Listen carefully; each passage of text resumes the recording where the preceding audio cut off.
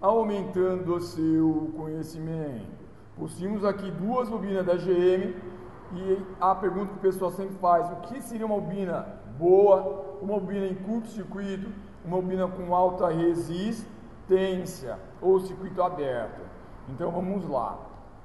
Peguei aqui, ó, 1 e 4, que equivale aos pistões gêmeos. Vou levar o nosso multímetro aqui, ó, na escala de 20K, ou seja, 20 mil ohms. Em 1 e 4, que são pistões gêmeos, eu vou medir a resistência. Olha lá. 4.900, 4.890. A resistência está ok.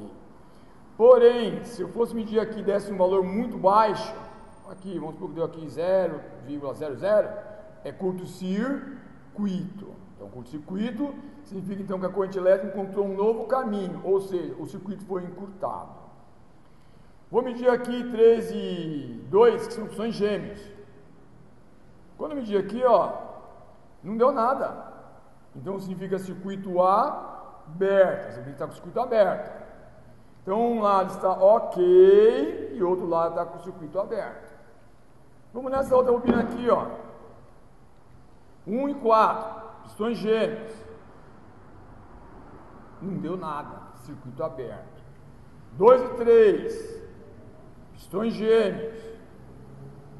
Deu alta resistência, 19.030. Então chegamos à conclusão que alta resistência vai estar bem acima dos 4.000 ohms. Curto-circuito bem abaixo dos 4.000 ohms e circuito aberto não dá nada. Então as duas bobinas estão ruins.